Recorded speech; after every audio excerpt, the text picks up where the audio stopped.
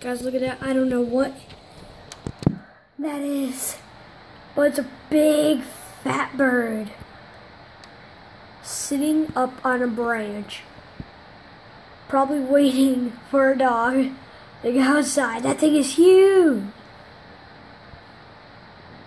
I'm going, oh my god, that's a giant hawker eagle.